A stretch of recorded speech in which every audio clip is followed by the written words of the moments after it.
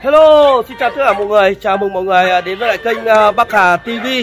À, mọi người ơi, hôm nay à, em lên một cái video, một cái chương trình rất là đặc biệt. À, bởi vì là hôm nay là thực ra thì trước giờ mọi người xem trên của em chỉ thấy là đi tầm cầu này, quay uh, chó chợ này. Nhưng hôm nay có một điều đặc biệt muốn dành cho mọi người, đó là hôm nay uh, có một bạn uh, sinh viên ở nước ngoài, bạn ấy uh, đang làm đề tài, đang nghiên cứu uh, về dòng chó chó là chó Phú Quốc nhưng mà bạn ấy uh, qua uh, kinh nghiệm qua mạng ấy bạn ấy uh, thấy dòng chó Bắc Hà uh, rất là dễ thương.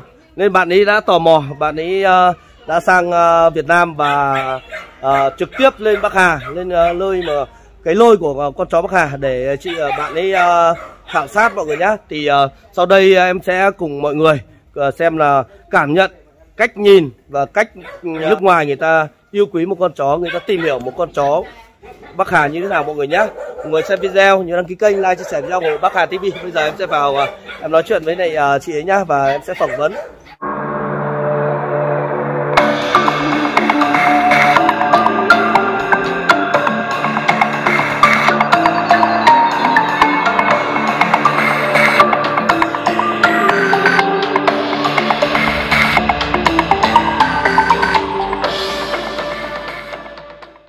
Hello. Hello. Và Hi. hôm nay thì uh, rất là vui được đón uh, các chị uh, uh, đến uh, thăm trại thì sau đây uh, em có một vài câu hỏi các chị cho em biết là các chị đến từ đâu tên là gì ạ Okay, so firstly, they would like you know like introduce yourself. Mm. Uh, where you from? Uh, What Okay. you are doing here? Yeah. Yeah, so my name is Kira Huang. I am Mm. the vice president of the Cho- of the Fuquoc Ridgeback Association in America. Mm. Um, I live in Hawaii in the Mm. USA. Mm. Um, my passion and my breed is the Cho Fuquoc, Mhm. and so uh, I came to collect DNA samples Mm. from um, for Wisdom Panel and Embark. Mhm. Uh, both of those are um, DNA registries in the U.S. They're Mm. the, the top, kind of like, well, not maybe not the top two, but they're Yeah. Yeah. Dạ, thì đầu tiên thì bạn giới thiệu bạn là Kira Hoàng, à, bạn hiện tại là đang sống ở đảo Hawaii tại Mỹ. Thì niềm đam mê của bạn á, chính là cháu Phú Quốc và ờ, là ừm, phó chủ tịch của hiệp hội cháu Phú Quốc tại Mỹ. Và cái mục tiêu của bạn đến tại Việt Nam thứ nhất đầu tiên là thì theo cái niềm đam mê của bạn là về cháu Phú Quốc để tìm hiểu giống cháu Phú Quốc tại Việt Nam đồng thời cũng đi tìm hiểu những giống chó bản địa khác tại Việt Nam luôn. Ờ, và lần này thì bạn kết hợp với một số tổ chức ờ, khác như là Impact của Mỹ là những tổ chức lớn về để giải ờ, những cái phòng thí nghiệm uy tín của Mỹ để mà lấy cái mẫu DNA ờ, phân tích ra ờ, để từ đó có thể công nhận những giống chó bản địa các nước. rồi Dạ. Ờ, em uh, có một câu hỏi tiếp theo nữa là ờ, chị đã nhìn thấy dòng chó Bắc Hà này nhiều chưa Uh, how you often see Bakha dog or Hermon dog here? How Uh, no, often- no, no, yeah. Like, have you ever see Bakha and Hermon dog? This is my first time in, in seeing them in Vietnam yes. um, and anywhere. Yeah, so you like you maybe read some information about them but Yes. never see them. Yes. Yes. Dạ. Trước đó thì ở Mỹ thì chị ờ, Kira có có đọc một số thông tin nhưng mà cũng rất là hạn chế thôi về chó Bắc Hà với Hơ Mông. Ờ, nhưng mà đây là lần đầu tiên chị Kira Hoàng đến Việt Nam và cũng lần đầu tiên để thấy được chó Hơ Mông Bắc Hà luôn. Ờ, câu hỏi tiếp theo là ờ, lần đầu tiên ờ, chị nhìn thấy những con chó Bắc Hà này chị có cảm nhận gì về những chú chó What's your impression or your feeling when you see Bắc Hà dog? So some of the information that I'd read on the internet Uh-huh. made me think that maybe they're not as friendly. Mhm. But when I came here, a lot of the dogs have been very relaxed, very Mm. welcoming, and they're very sweet. Mm. So I like them a lot. Yeah. trước khi thì khi những cái thông tin ở Mỹ cũng rất là hạn chế thì bạn cứ là ờ, cứ, ờ, những cái thông tin đó đưa ra thì rất là nhầm lẫn và khiến bạn hiểu là cháu bất Hào cháu Hơ Mông thì rất là dữ. Uh, kiểu là khó chịu ấy. Uh, nhưng mà khi mà qua Việt Nam tiếp xúc với cháu bất Hà thì bạn cảm thấy là cháu bất Hà của mình rất là thông minh rất là dễ thương rất là gần gũi với người. Yeah. Um, initially, I said that I would never have another dog, only Chofuquok. À I would never have anything else. But I Ah. think now I will take some. À. trước khi đến Việt Nam thì bạn nghĩ là chắc bạn chỉ nuôi cháu Phú Quốc thôi bạn thích Phú Quốc mà nhưng mà khi mà qua đến đây đó thì nghĩ là chắc là sẽ nuôi thêm cháu Bắc Hà hoặc mơ mông nữa tại vì rất là thích cho em hỏi một câu? Rồi mời bác Khi Trinh chị đã tiếp xúc với chó Bắc Hà và chó Phú Quốc thì theo em thì giá trị kinh tế của con chó Bắc Hà với chó Phú Quốc thì con nào sẽ cao hơn? Oh, what we, because you saw Phú Quốc and Bắc Hà when you compare uh, in the economy each like economy uh, point how you can see What do you mean the economy? Uh, economy means uh, how they can bring the value to the human.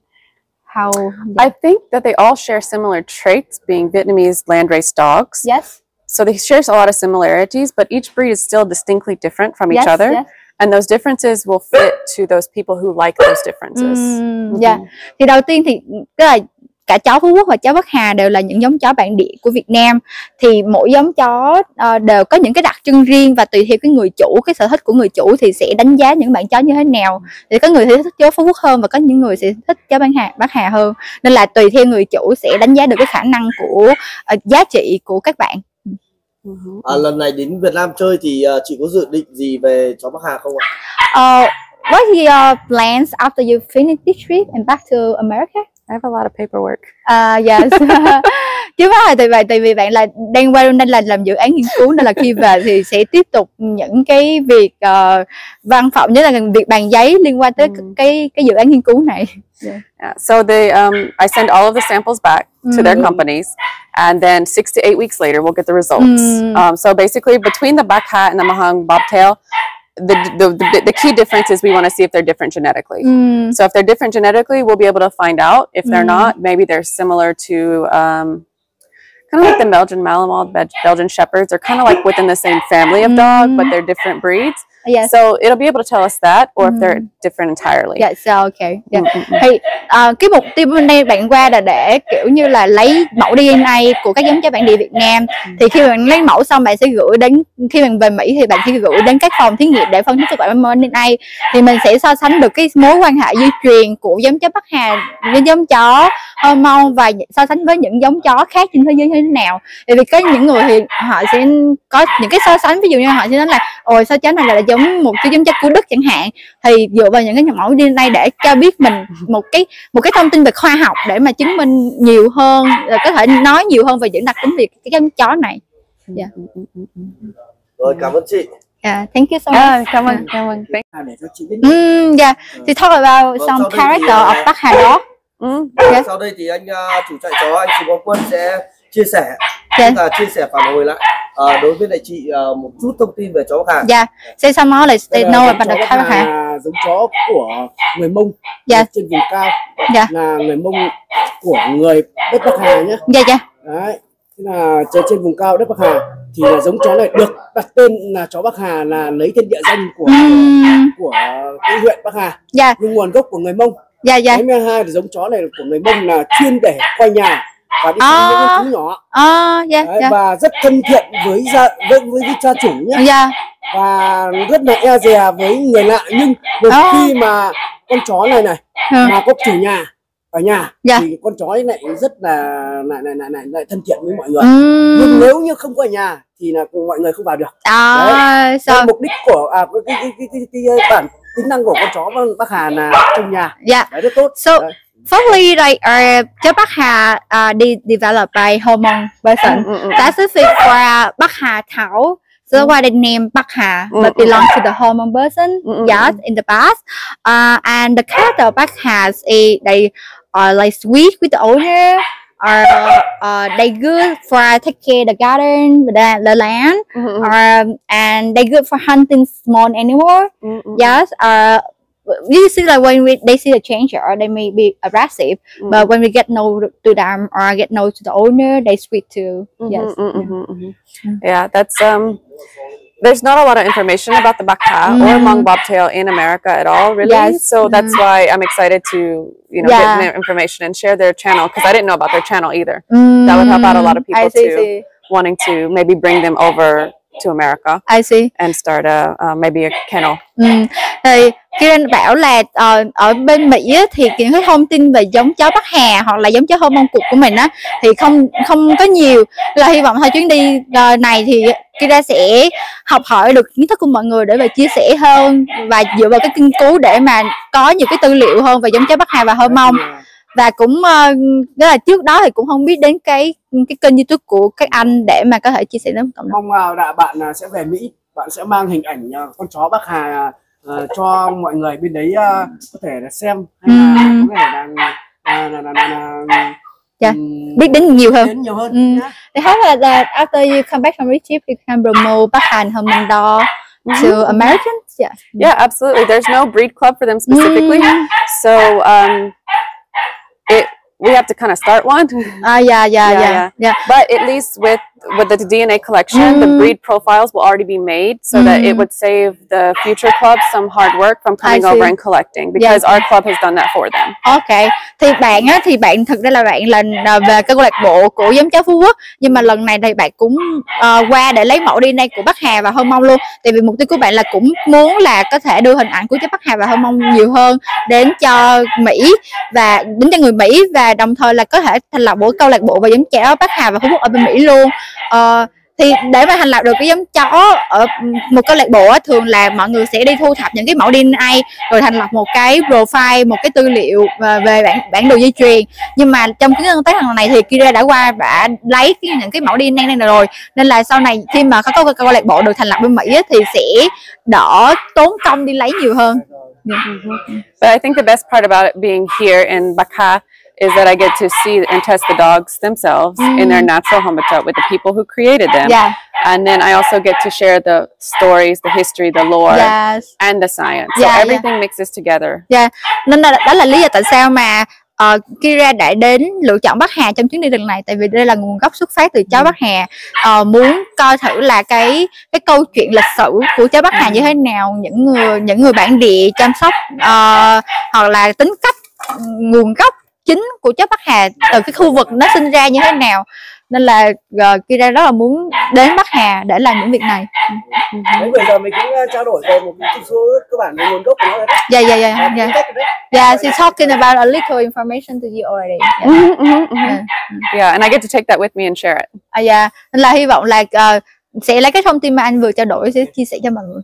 Ok. Mhm. Thank you. Yeah, come on. Cảm, on. Thank you so much. dạ, cảm ơn anh nhiều.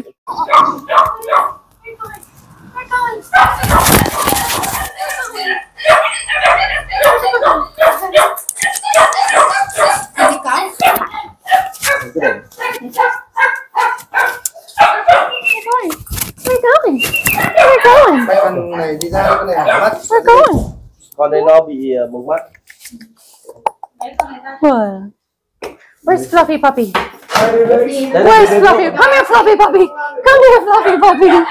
Come here. Hi. Fluffy Puppy. Such a cute baby. Such a cute baby. Where are you going? Hmm? Oh. Puppy noises. Oh. Puppy noises. So last year I tried to breed Chofukwak and um, my I'd had to do artificial insemination, so it, it didn't take, so she didn't get pregnant. So I have had puppy fever really bad. I want to play with puppies all day long.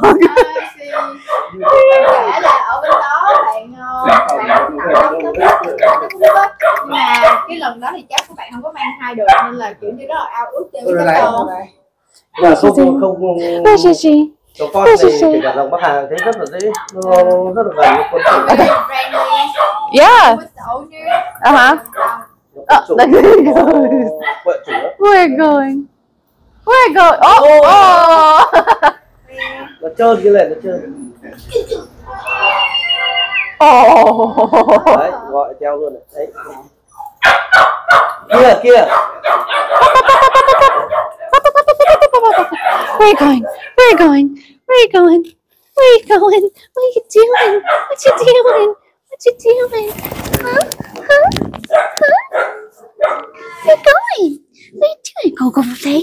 Go play play. Go go play. so cute. How many puppies do you guys have a year? Jane? How many puppies do they have? Hiện tại là anh có bao nhiêu? Con chó con ạ. À có tổng chín con. Này Oh. nên anh tự tạo giống luôn hay là cả đây cả vừa đi mua về với lại tự tạo ở sau Chúng chạy sau tạo ở vài vòng Oh. có mấy con màu đậm suốt rồi. Ba suốt ba suốt ba con đẹp rồi. Này có sáu con suốt ba rồi. Còn ba con kia là không phải It's the belly whoops. It's the belly whoops.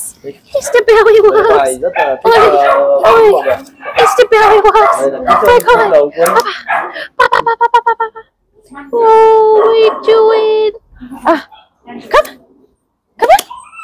You're peeing on yourself. Get up. Go around. You're peeing. No. oh. 哇哇哇哇